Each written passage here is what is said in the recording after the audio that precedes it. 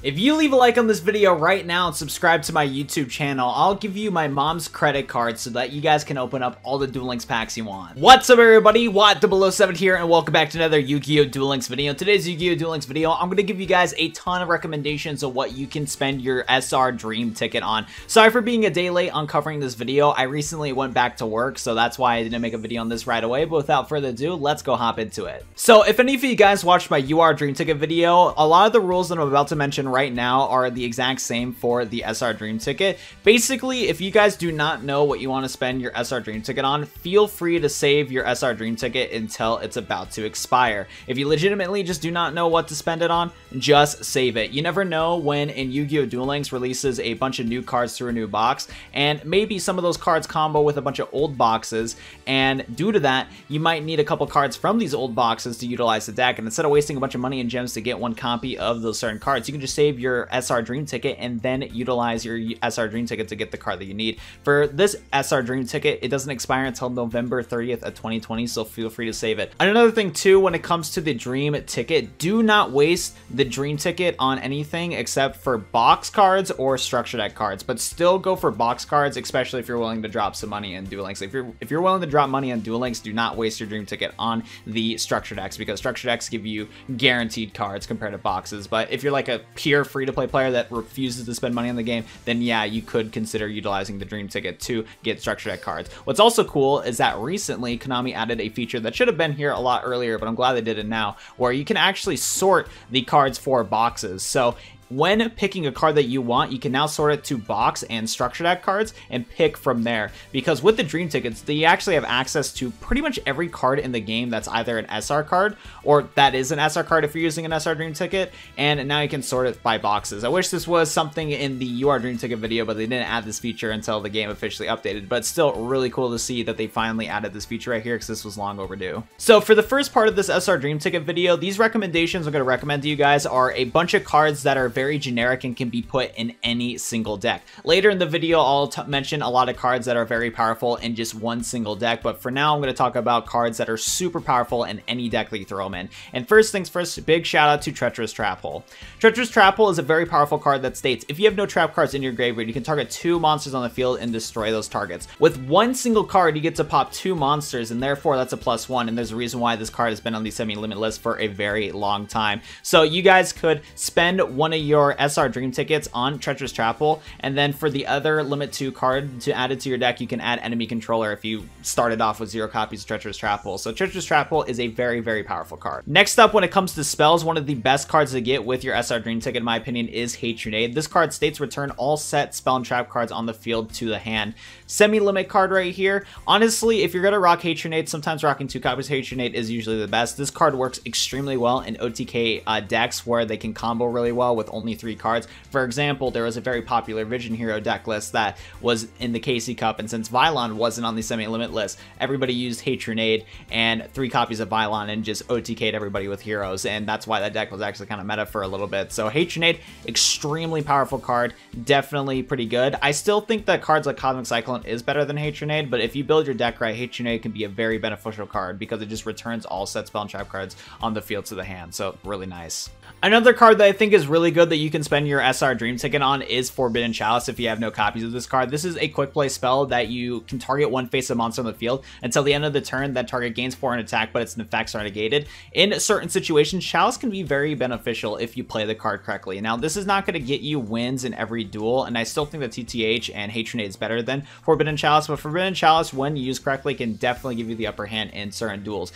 And if you do play it correctly, it's very versatile because in some situations, maybe you don't care that your monster um, will have its effects negated and you need that extra 400 attack to win the duel. You can pop Chalice on your own monster and go from there. If your opponent summons a very powerful monster that you don't want to uh, allow them to combo with, you can give your opponent's monster Forbidden Chalice. Sure, they gain 400 attack, but the effect is negated, which could potentially stop combos. So Forbidden Chalice, when used correctly, can be very good. Now, this actually wasn't part of my script or my list of cards to recommend in today's video, but I'm glad that I remembered it now because Fire Formation Gyokkou can be pretty spicy when used correctly. Now, I'll be honest, this card has not seen play whatsoever recently recently, but I eh, you never know when one we get more Fire Fist support or just Beast Warrior type support in Yu-Gi-Oh! Duel Links. And also this card is really good because of the fact that you can target one set spell and trap card your opponent controls. Your opponent cannot activate the targeted card in response to the card's activation. While this card fa face up on the field, that set card cannot be activated. So as you guys can tell, it's pretty spicy. I still think that Night Beam is probably a better version of Fire Formation in most situations, which is why this card hasn't been used. But still,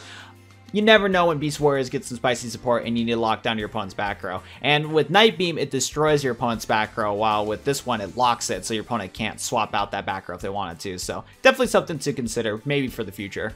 Another card that's really powerful, which is why it's on the semi-limit list, is Concentrating Current. You can target one face-up monster you control. It gains attack equal to its current defense till the end of this turn. Other monsters you control cannot attack during the turn you activate this card. This card's really good because you get to make your monsters have so much attack depending if they have a lot of defense. This helped so many decks be able to do some cheese OTKs, which is really cool, which is why it's on the semi-limit list. And it doesn't work well in every single deck, but the decks that it does work well with, it's very devastating, that's for sure. This card is super good in Cyber Dragons, and Cyber Dragons with this card can do some spicy stuff, which is why this is on the semi-limit list. So Concentrating Current can be in, in a multitude of decks, but in certain decks, it's very, very powerful. Now, I'm just going to be recommending Wall Disruption because just shout out to one of the OG cards in this game. Now, Wall Disruption does not see that much play anymore because it's a non-reactable trap card, but Sometimes, when your opponent's least expecting it, Wall Disruption can come through. We are in a meta where a lot of monsters can get spammed out, so maybe Wall Disruption could give you the upper hand in certain duels. This card is definitely good in early on in ranked PvP, but don't expect this card to do a lot of work in Platinum and Legend.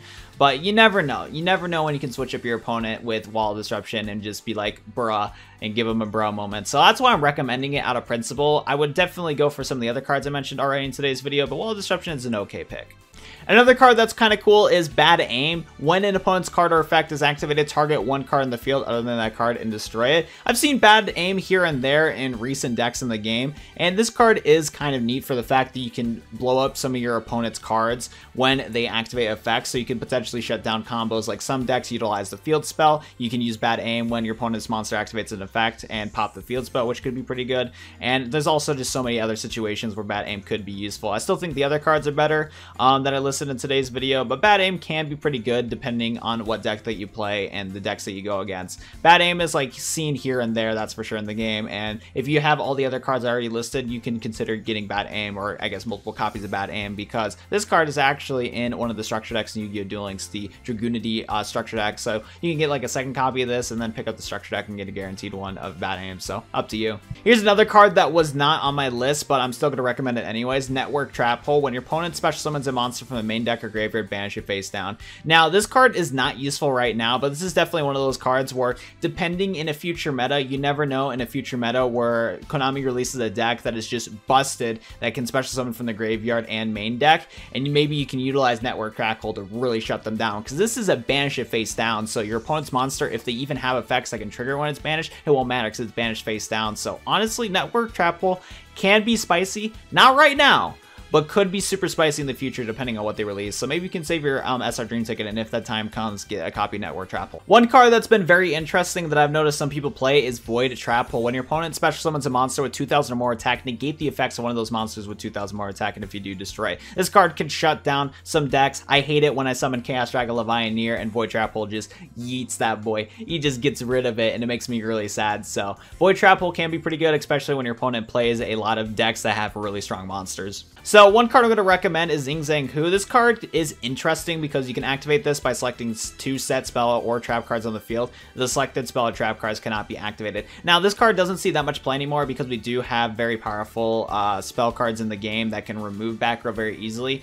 And if your opponent has Cosmic Cyclone and they get rid of this thing, it's just going to be useless because then they can activate their back row again. But in the situation where you go turn one, set Xing Zhen Hu, your opponent goes, uh, you know, turn two, set two cards, lock them out right away. They can't do anything for that turn. It could be pretty spicy, especially if you lock down a couple of their Cosmic Cyclones and they can't even activate those ones. So there you go right there. But yeah, if your opponent has like um, a Cosmic Cyclone in hand, they can activate uh, Xing Zhen Hu, or they can activate Cosmic Cyclone, target Xing Zhen Hu, and then it's useless. So may it's kind of good, but kind of not. It's it's an outdated card, but I'm still gonna recommend it because it is an old card, and when used right, could be very beneficial for you. Another card that I could recommend is Super Rush Headlong. You can target a face of monster you control and declare one attribute. If the target battles an opponent's monster with the attribute this turn, destroy that opponent's monster at the start of the damage step. This is a quick play spell card, so if used correctly, you can easily destroy some of your opponent's monster, either you attacking into them or they attacking into you. Um, this card most of you guys probably do have this card, but I still wanted to give a mention to Super Rush Headlong because it hasn't seen that much play in this current meta, but I still think that it is a alright card to recommend. But yeah, just keep in mind that a lot, not a lot of people play this card anymore, but who knows, maybe you can surprise your opponent by trying this card out and switching things up. And then the last, like, super generic card that's pretty powerful is Offerings to the Doom. It's a quick play spell card that states target one face-up monster on the field, destroy the target, also skip your next drop phase. This card is not good right now, but in by the off chance there is future meta decks in the game that has super powerful powerful searchability, Offerings to the Doom can be pretty deadly. I used this in Six Samurais for a little bit, and sometimes it did some work because Six Sam's um, pre-ban list used to be able to search and thin out the deck like crazy, and just Offerings to the Doom just blow things up and sure, you're skipping your draw phase, but you're still gonna have the opportunity to still draw into cards later. It was absolutely ridiculous. So this card hasn't seen much play at all, or like little to no play at all. But if there's a deck out there, especially if it comes into Duel Links that is just super stupid when it comes to searching for stuff, Offerings to the Doom could be pretty interesting. Now, for this segment of the video, I'm gonna recommend you guys a bunch of cards from the extra deck that you could get utilizing your SR Dream ticket. And the first card I want to shout out is Fortune Lady Every. This card is extremely powerful for Light Sworns and for Fortune Ladies. It's a 7-star Light Synchro monster that requires a 1 tuner plus 1 or more non-tuner spellcaster monsters. This card's attack and defense become its level times 400, so when you synchro summon into this card, it becomes a 2800 attack and defense monster. Once per turn during your standby phase, you can increase this card's level by 1, so throughout the duel, if it stays on the field, you gain uh, 400 attack, which is really nice. Um, and also, uh, when that happens. You can also banish one face-up monster opponent controls, and that's why this card is so powerful, because it gains attack if it stayed on the field, and on top of that, you get to banish one of your opponent's monsters, and it doesn't target either, so it's so, so good. Also, what's really good about this card is that during your opponent's end phase, if this is in the graveyard, you can banish a spellcaster-type monster and summon this card back for free. Well, you still gotta sacrifice the uh, spellcaster monster, but yeah, you just get the synchro monster back in the field super quickly, and since you did synchro summon with a spellcaster anyways, if your opponent didn't didn't banish that spellcaster that you just synchroed with, then I guess you do kind of get this card for free. So super powerful card, really good card, and probably one of the best ones I would recommend with this SR Dream ticket because you only need one copy of every anyways. Another card that I think is really good that you can get with your SR Dream ticket is HTS uh, Psyhemuth. This card is a generic 6-star synchro monster, and after damage calculation, when this card battles opponent's monster, you can banish the monster, and banish this card. Really powerful card. So another card that I would recommend with your SR Dream ticket that you could get is Powered Inzektron. This card is a really good good 6-star Synchro monster that states, when this card is Synchro Summoned this turn, this card cannot be destroyed by battle or card effects, also you take no damage. So just in general, that's already pretty good. Or if you combo this with Crystron, or if you combo this card with Crystron, Crystrons can Synchro Summon into this card during your opponent's turn. So then, when you Synchro Summon into this monster with Crystrons, you take no battle damage on your opponent's turn, so if they attack into you, it's not going to do anything, and this guy stays in the field, so pretty good card. If you guys play Blue Eyes White Dragon, Azure-Eyes Silver Dragon is a pretty cool card, super powerful for Blue Eyes White Dragon, so I'd recommend. Another really powerful Synchro monster you can get with your um, SR Dream Ticket is White Aura Dolphin. It's a generic 6-star Synchro monster that's used a lot in water decks and SSA decks. So if you guys are playing water decks and you have ways to synchro summon, rock this card. Another extra deck card I would recommend with your SR Dream ticket is Stardust Charge Warrior. This is a generic 6-star synchro monster, and when this card is synchro summoned, you can draw one card. Also, this card can attack all special summon monsters your opponent control once each. And while it only has 2000 attack, if you combo it with some of the other cards in the game, like the Psychic Wielder and Psychic Tracker cards, you can uh, pop a monster with Psychic Wielder and then gain 600 attack with Trackers. So definitely a pretty good card, especially combo with those ones. Another card that's alright is Dark End Dragon. It's an 8-star Dark Synchro monster. It takes 1 tuner plus 1 or more non-tuner Dark monsters. And once per turn, you can target a monster opponent controls. This card loses 500 attack and defense, but you send that target to the graveyard. So, it's an alright card. Now, for the rest of this video, I'm just going to go super rapid fire on the rest of these recommendations. These recommendations are a bunch of cards that just boost up certain decks in the game, and I just wanted to give them a quick mention. If you are a free-to-play player and just refuse to spend any money on Yu-Gi-Oh! Duel Links, I would not mind recommending uh, Neos Fusion Fusion and Red Eyes Fusion because these are both very powerful fusion cards. Now they are from structure decks and you can buy the structure deck once for free of course, but if you want extra copies of them you need to spend money. And if you refuse to spend money on this game, go for it. I mean you can utilize your SR Dream ticket to get Neos Fusion and then just get the other one for free by spending gems and then you can easily summon into your Brave Neo. So there you go right there. And then kind of the same principle for Red Eyes Fusion, but with Red Eyes Fusion I don't think is as good as Neos Fusion. I think Neos Fusion is really good right now, especially with the new hero structure that came out recently. But yeah, I'd recommend both of these if you just refuse to spend any money in Duel Links. Palace of the Elemental Lords is a very powerful card for this deck, so I could recommend that. Revendread Origin is very good for Vendreads. It's a powerful ritual spell card that you can utilize to uh, ritual summon into any of your Vendread monsters, and this card gives your Vendread monsters immunity, so I'd go for it if you're building that deck. Diamond Core of the Maru is a very powerful card for Maru because you can search out for just any of your Marus, which is just insane. Now, the deck has not seen that much play recently, but I don't know why. I just have a feeling that this deck might come back. Destruction Swordsman Fusion is a very powerful card because it allows you to summon into your Buster Blader, the Dragon Destroyer Swordsman, utilizing your opponent's monsters and a Buster Blader.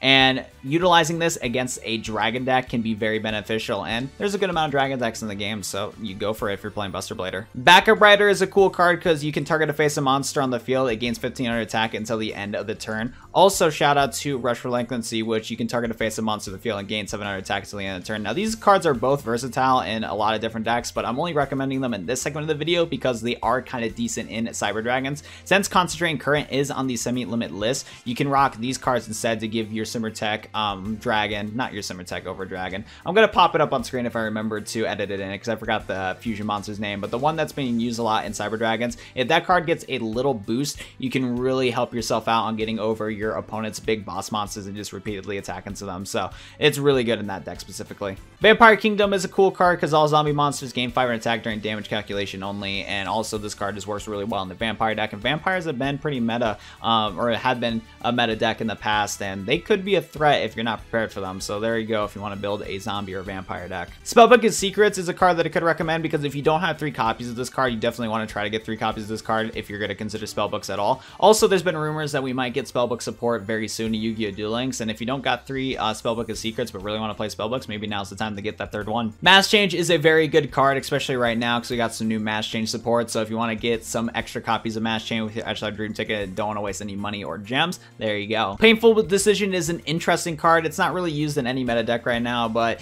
basically what you can do is you can send a level 4 lower normal monster from your deck to the graveyard, and if you do add one card of the same name as a card to your deck to your hand. If you play certain decks, you can probably go for some interesting combos utilizing this card properly. This card's seen in a lot of meme decks and whatnot. Dual Wheel is a very, very, very powerful card for Six Samurais and gives Six Samurais that edge to really mess up your opponent. If you don't have three copies of Subterror Final Battle yet, but you love playing Subterrors, I'd recommend using your SR Dream Ticket on this because this card really makes Subterrors a good deck. Sea Stealth Attack is a very powerful card for water decks because Sea Stealth Attack just gives your water monsters so many good abilities. If you don't got three copies of Sea Stealth Attack and want to get it, feel free to go for it. Now, when it comes to the monsters, if you're trying to build a Shiranui deck, both of these cards are good for the archetype. Maybe if I wanted to play this deck, can get a third copy of Squire. Squire is pretty good, comboed with like Gold Sarcophagus and whatnot, so there's a couple options right there. Shout out to the homie Light Pulsar Dragon, very good in light and dark decks. I utilized it in my Levianeer deck, and this card really promotes some spicy techs with Eclipse Wyvern and Chaos Dragon Levianeer, so cool card right there. Keeper the Dragon Magic is from a structure deck, but if you want multiple copies of this and don't want to waste money on the structure deck, Keeper Dragon Magic is really good. You can discard a card and add polymerization or a fusion normal spell card from your deck to your hand. So could consider that pretty cool. Shout out to the best waifu, Misty Tredwell. This card clearly inspired by her, but yeah, shout out to Misty. Here's another Vendread card that you could utilize in your Vendread deck, so maybe you want to consider your SR Dream Ticket on that. Um, shout out to Crystron's. If you need to get third copies of your Crystron cards, here's a couple options right there. If you guys play Magnets, getting three copies of Alpha and Gamma is really good because it really boosts the consistency of the deck. If you play Subterrors and don't have a third copy of Subterror Behemoth, and you for some reason have three copies of Final Battle, maybe you want to get a third copy of Behemoth because this card's really powerful. Cockadoodledoo is not used in any meta decks right now, but I still like this tuner monster because it's a special summonable tuner monster that allows you access into a lot of synchro plays.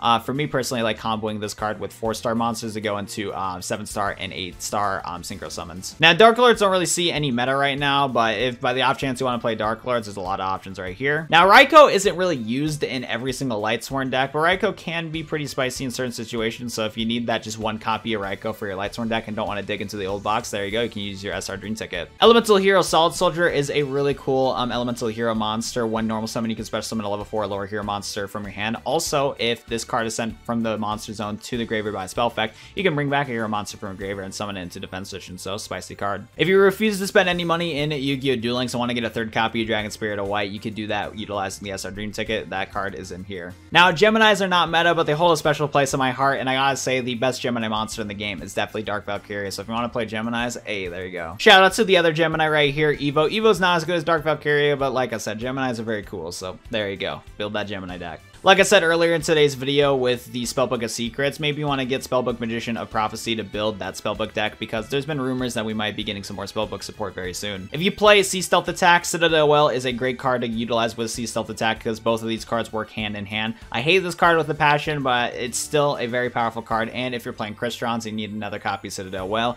and you don't want to waste more money or gems on your Crystron deck, you can snag copy of this.